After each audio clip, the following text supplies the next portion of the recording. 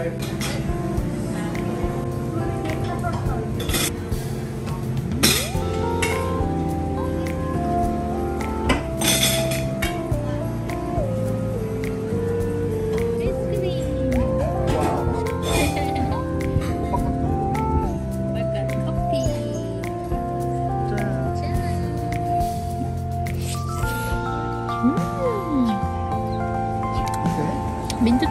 어. 엄청 맛있어. 진짜? 응. 아.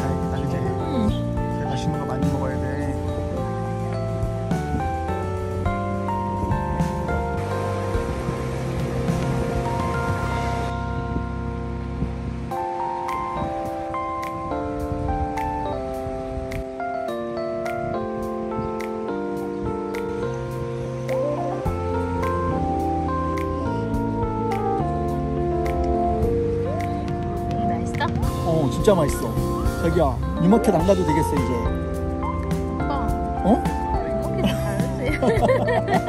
아니 그런 뜻이 아니고 어? 그 정도로 충족이 된다 이거지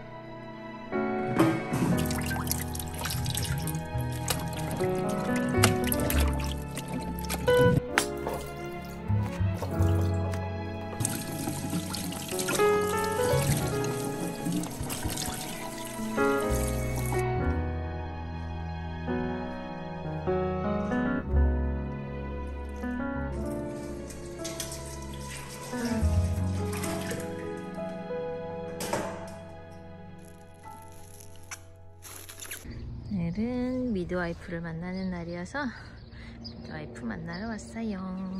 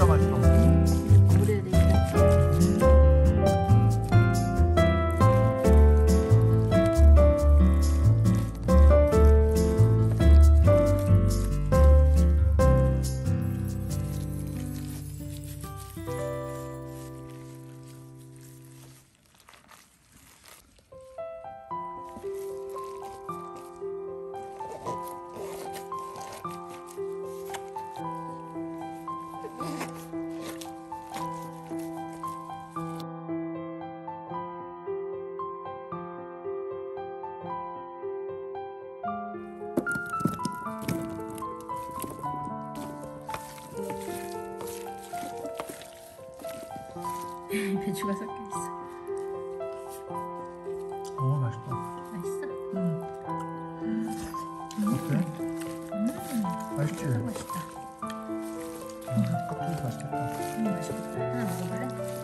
음.